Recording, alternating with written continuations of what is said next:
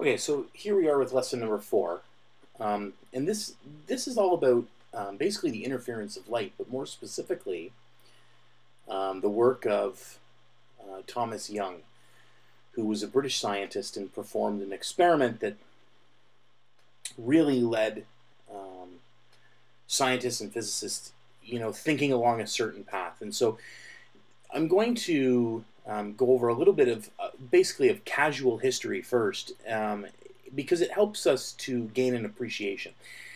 Basically, throughout history, scientists have debated over what light is. Okay, so for a long time, um, people thought that light was um, a particle, and um, the Greeks thought that light was um, particles that kind of streamed out of people's eyes. Um, other people thought that light was a wave, um, similar to how sound is a wave. But in general, this debate went back and forth, and Newton was one that thought that light was very much a particle. Because Newton was very well respected, um, his particle theory of light was mostly um, accepted and, and was certainly the, the most widely accepted um, theory of what light actually was, and that was based on his reputation.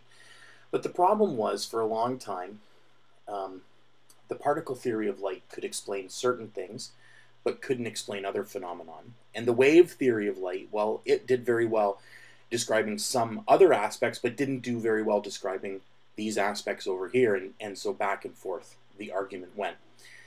So Robert Hooke, who you see up here, and Christian Huygens, who you see right here, they were really the champions of the wave theory of light. And um, as I just mentioned, it wasn't able to explain all of the phenomenon that the particle theory did. Um, and we've seen some evidence so far about the wave theory because it, it explains refraction very well. It explains polarization very well.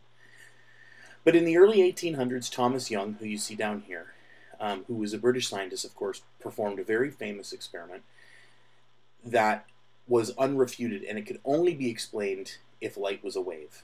And so it gained quite a bit of um, it gained quite a bit of fame at the time because it was the first, you know, irrefutable proof that yes, light is a wave. So let's talk a little bit about interference theory. And we've we've touched on this when we talked about sound in grade 11. But when we combine two or more waves, we use the principle of superposition to say that, okay, waves either build each other up or they tear each other down. And when waves build each other up, we call this constructive interference. So when two waves uh, um, meet at the same spot in space and time, um, the amplitude of both of those waves is said to be in the same direction and they build each other up. So we get a supercroft, excuse me, a supercrest or a supertrough. Okay, destructive interference, on the other hand, is when two waves meet at the same point in space and time, and the amplitude of those waves is in different directions, and so they cancel each other out. Okay, now we've seen examples of this before, but basically what ends up happening is that either waves build each other up or they tear each other down. All right, so many things can cause waves to interfere, but the path difference between two waves has a very large effect because the path difference can create a difference in phase. And that's a phase shift. And you've probably talked about this in grade 11 math or in grade 12 math, but here's two very, very simple waves that have two different paths. So here's one wave. And this is very simplified. It isn't even it isn't even a sine curve. It's just a triangle wave. And here it starts out and it has a certain a certain phase. Okay. Another wave that started off perhaps as exactly the same, that's traveled maybe a different distance, will be phase shifted relative to that first wave. And because those two spots, those two waves will meet at the same point, then they will have, of course, either a constructive effect or a destructive effect or some effect in between. Okay, because things don't necessarily have to be fully constructive or fully destructive. They could be anywhere in between. They could build each other up a little bit or build each other up very little. And so this is how a path difference will create interference. We did an example in grade 11 where we walked around the classroom. We had two speakers that were playing a frequency, and we walked around the classroom. And because of the phase difference, because of the difference in length of the sound waves that were traveling to hit our ears, you can actually find, if you walk around the classroom, spots of destructive interference where there's no sound, instructive, constructive interference where there's lots of sound. So when these two waves, though, meet in space and time, there's an infinite number of possible shifts that happen between them. They may be out of phase by one full wavelength, they may be out of phase by one half of a wavelength, they may be out of phase by 1.113 wavelengths, whatever. Right? The two extremes of phase shift are considered here. So, when two waves arrive at one spot in phase, so they're shifted by an integral number of wavelengths. So an integer number m lambda of wavelengths. The net effect is constructive interference, and these two waves build each other up, so you get a maximum. So this would be constructive interference. Conversely, when two waves arrive completely out of phase, and so they're shifted by exactly m plus 1 half lambda, where m is an integer, so a half integer number of wavelengths, the net effect is destructive interference and a minimum occurs. Okay, so think about your sine wave. Of course, two sine waves that are off by one full wavelength. If you add them over top of each other, they would build each other up. Two sine waves that are shifted by one half of a wave would be exactly opposite. Their patterns would be exactly opposite, and they would cancel each other out. So the term node, we often use the term node, is to, to describe a minimum. All right, so let's take a look at what Young did, because this is Young's double slit experiment. And he used a light source and two opaque cards um, with basically little holes in those cards. And he performed an experiment. Basically, it convinced most people that, that light was a wave. So on the first card, he punched a tiny little hole. And here you see the first card here, tiny little hole right here. And then through the second card, he placed two holes. So these were the two slits, or the two pinholes. And so when he shone light through this first slit, hmm. it basically spread out like this. This basically created this coherent light source, which means it was in phase these two slits were an equal distance from here to here, so we could be guaranteed that the light was in phase when it hit these two spots because it traveled an equal distance. And then all of a sudden the light traveled through here and one wave spread out here.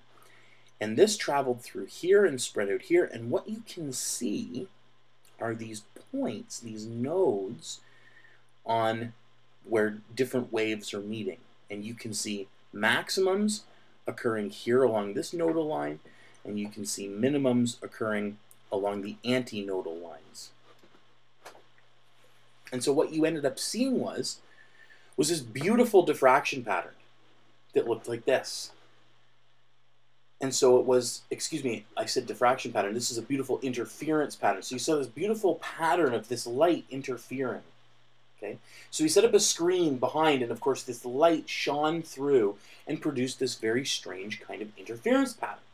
And in most modern day recreations of Young's experiment, instead of using two pinholes, we use two slits. And basically, the, these bands are numbered. M equals 0, which would be basically the first nodal line. And then we'd have M equals 1 here, M equals 2 here. So these represent the integer number of wavelengths. So this would be two waves arriving at this spot, which would be shifted by one wavelength. This would be two waves arriving at this spot that are perfectly shifted by two wavelengths. This would be perfectly shifted by three wavelengths, and so on and so forth all the way out. Okay? So basically what happens, though, is that intensity decreases, and this is kind of just um, an effect of, um, of this interference pattern. And so what we'd like to do now is we'd like to say, all right, that's kind of what we're looking at, and that's what's going to happen. And we can see this if we if we were to do this experiment with a little laser. And we will do this, we'll do this in class so that we can actually visualize and take a look. But let's try and figure out how we come to this, and let's try and formalize it so that we can get some equations to work with, so that we can find out, okay, you know, the slit separation, how does that affect things? What about the wavelength of the light? All of these things we'd like to know. Okay, so I'm going to do some derivations now, and I would encourage you to sit back and to appreciate more than get stressed out about these derivations because you know for the most part we're it's important that we know where things come from and it's important how we set these things up um, but these derivations will give us a sense of kind of why we can use the formulas that we're going to use so here we go here is a, spot on a screen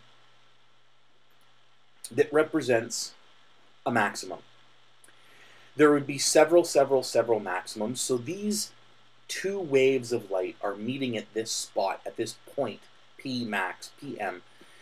And basically, slit 1 and slit 2 are allowing light to come through, and the, the two beams of light are meeting here, and they're creating a maximum. Okay?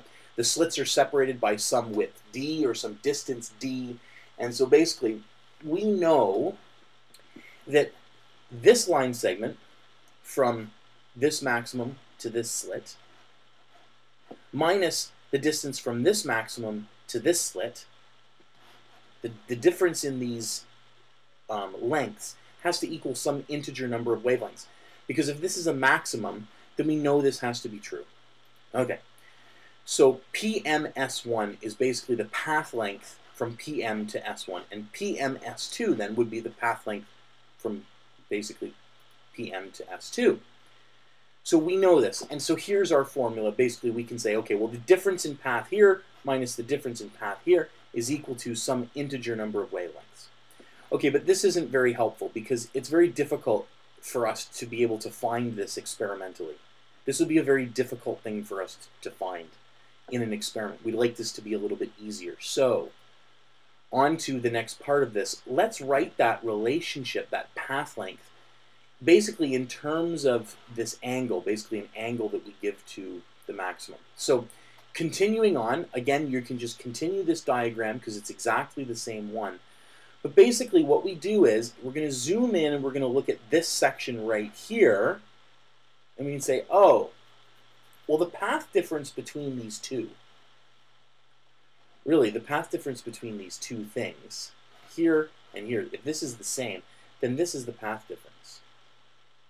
And what we can do is we can call this, we can define this, some angle theta m.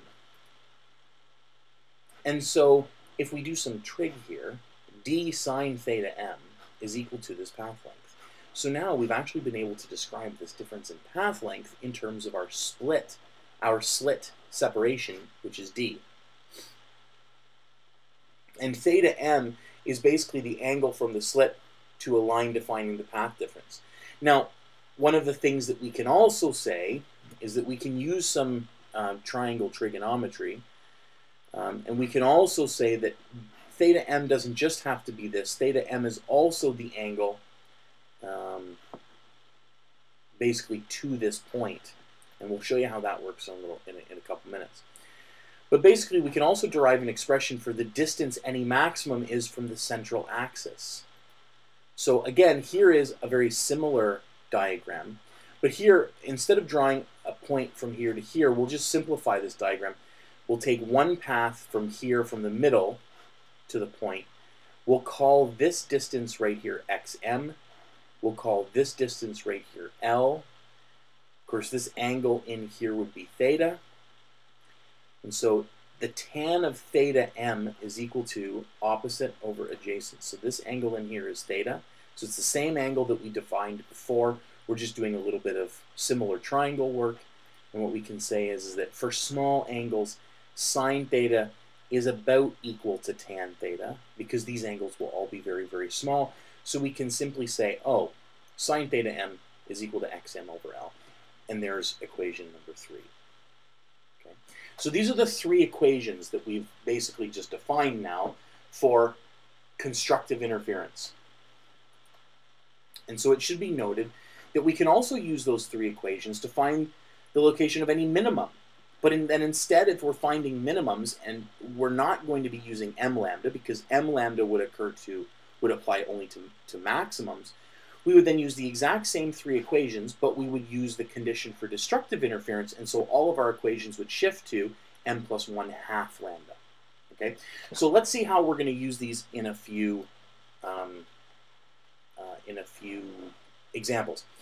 A monochromatic source of 450 nanometer light illuminates two slits that have a separation of 3.0 times 10 to the minus 6 meters. What angle does the first order maximum occur? Okay. So this is what we know. Because there's some lingo in here that we need to unpack. First of all, I'm asking for the first order maximum. If I'm talking about the first order maximum, I'm talking about that very first fringe next to the center fringe. So that means m equals 1. Okay.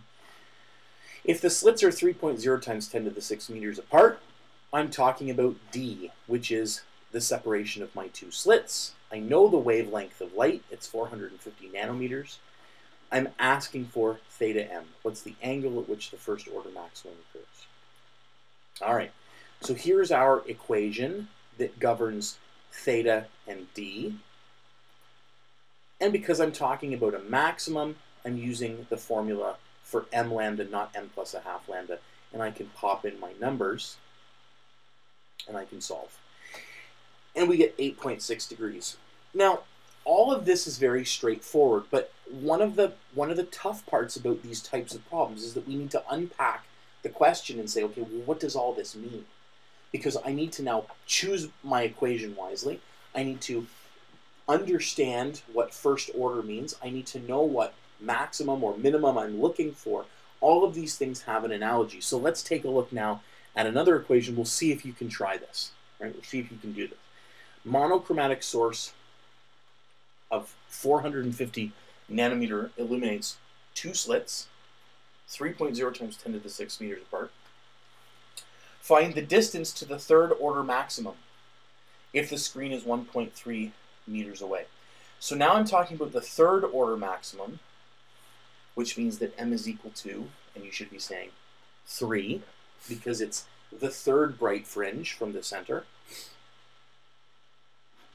The screen is 1.3 meters away, and I'm looking for the distance to that third order maximum, which is x3. Basically, the distance from the center fringe to the third maximum.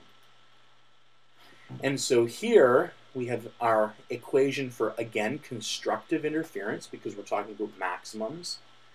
So we're using m lambda and not m plus a half lambda. And we're going to use this version of Young's equations.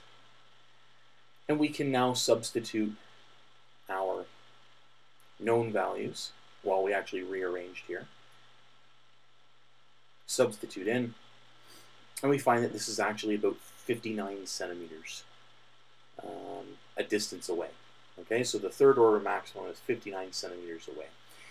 This is the beginning of kind of using um, these equations to solve problems. And um, your homework and basically time in class and the labs that we're going to do are going to provide many more opportunities for us to kind of um, set up different situations and look at different things.